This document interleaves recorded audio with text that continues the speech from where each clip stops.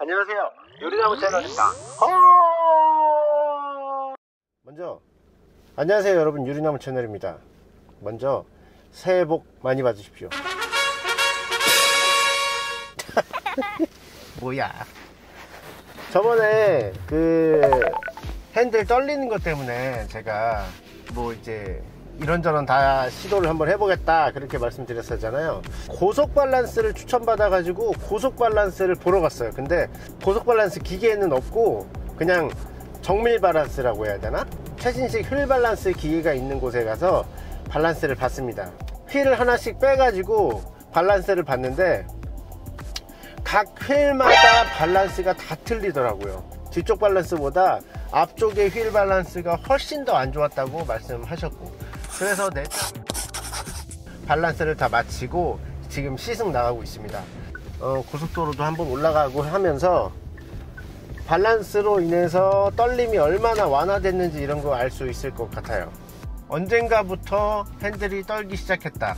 핸들이 떨림이 느껴지기 시작했다 라고 말씀을 드렸었는데 아마도 휠 밸런스가 타이어가 교체되면서 훨씬 더 크게 틀어졌던 것 같습니다 밸런스를 한번 보고 그래도 떨림이 잡히지 않는다면 고속 휠 밸런스라는 걸 봐야 되는데 고속 휠 밸런스가 워낙에 비싸고 장비가 비싸서 그런지 고속 휠 밸런스가 한 10만원 정도 할 건가 봐요.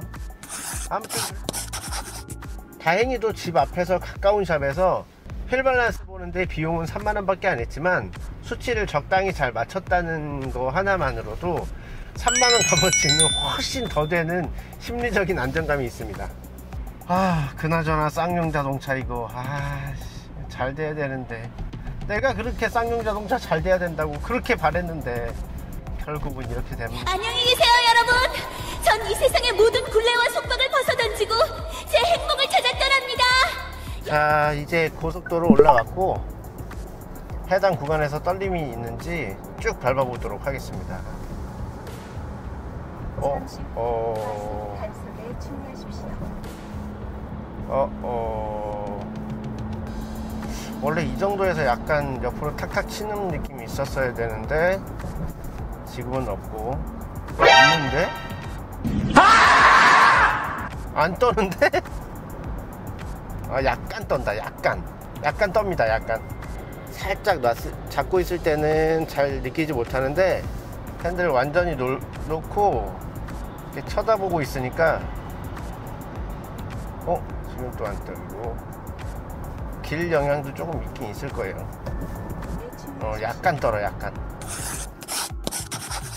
아무리 이제 너무 예민하게 타면 스트레스 받는 건 저지만 이게 못 느꼈던 게 딱 생기니까 그때부터 막 온 신경이 곤두서 가지고 그냥도 넘어갈 수 있는 건데 이렇게 자꾸 신경을 쓰게 되는 것 같아요. 그리고 지금 같은 경우는 뭐 항상 정말 뭐랄까 진동이 좀 많이 오던 그 구간에서 떨리지 않으니까 훨씬 더 편안한 느낌은 있습니다. 만약에 80에서 그 90km 정도 그 떨림 구간에 왔을 때도 타이어가 바뀌어서 그런가 보다 할 수 있는 감내할 수 있는 수준으로 떨림이 오는 것 같아서 어떻게 보면 미세한 변화지만 저렴한 가격의 휠 밸런스를 보고 스트레스로 다가왔던 부분을 잡아줬다는 게, 어, 제 생각에는 만족스러운 것 같습니다. 튜닝은 잃는 게 많다 뭐 이런 걸 말하지만 막상 저도 튜닝을 하면서도 알면서도 이렇게 당하는데 모르면서 튜닝했다가 차 버려야 되는 거 아니냐 막 이렇게 가는 분들이 없으셨으면 좋겠고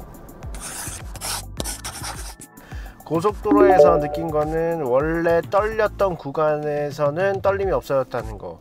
조금 더 빠른 속도 그러니까 어, 떨리는 구간이 약간 변경되긴 했지만 어, hub spacer를 뺐을 때처럼 손을 이렇게 얹으면 별로 그렇게 막 손에 막 느낌이 전달될 정도로 떨림은 발생하지 않았어요.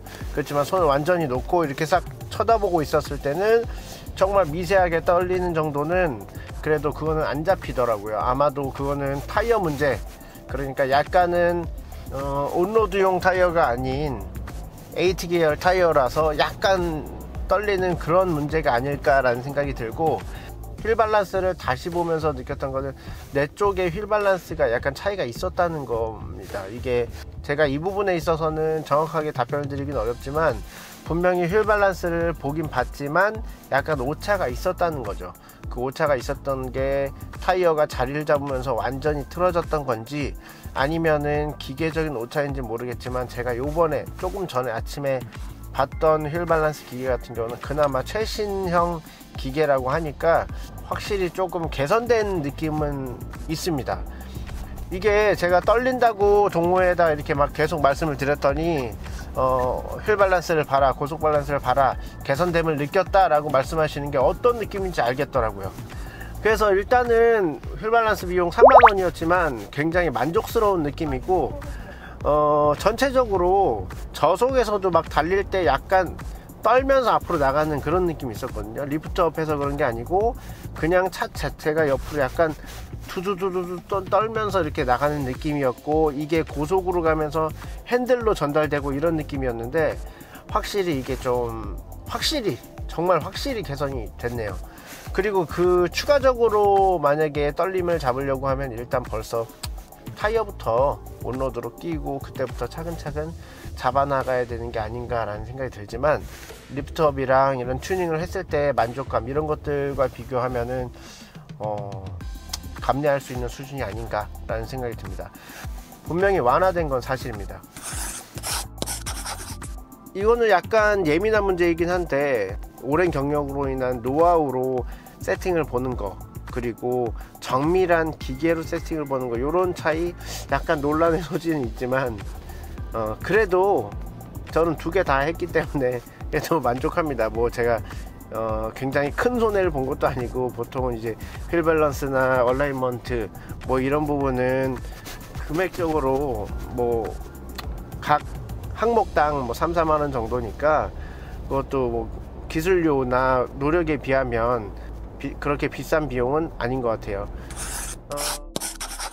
어, 요즘 쌍용차가 아까도 초반에도 말씀드렸지만 말이 너무 많아가지고 조금 찜찜한데 제가 뭐 쌍용 자동차가 조금은 유지가 돼서 최소한 제가 타는 동안에는 어, 부품 공급이라든지 그리고 또 이런 자동차 회사가 문 닫는다고 해서 쌍용 자동차 그 중국 가격이 정말 바닥을 치는 이런 일이 없었으면 좋겠습니다.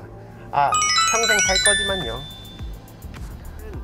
자 그럼 오늘은 휠 밸런스를 보면서 핸들이 약간 개선됐다는 것을 전달 드리면서 마치도록 하겠습니다. 지금까지 유리나무 채널이었고요. 올해 2021년에는 코로나도 좀 완화되고 하면서 좀 예전으로 돌아갔으면 좋겠습니다. 재미있게 보셨다면 구독, 좋아요 버튼 눌러주시고 저와 함께 여행같은 인생 즐기시길 바라겠습니다. 새끼라